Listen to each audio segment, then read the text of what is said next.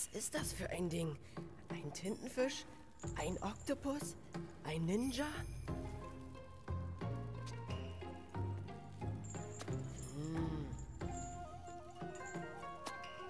Ah! Das ist also dieser komische Typ, über den alle reden. Japan ist so verrückt. Nein, ich muss mich auf meine Mission konzentrieren. Bis später, komischer Oktopus-Typ.